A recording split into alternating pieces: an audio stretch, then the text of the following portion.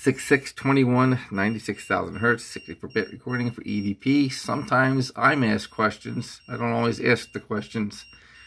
It sounds like a female voice, and she's saying, Are you an American?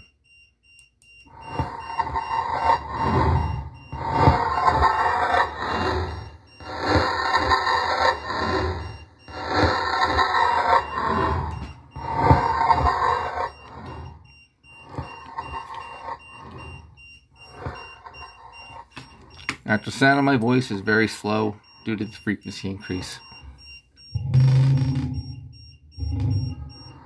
That's my voice.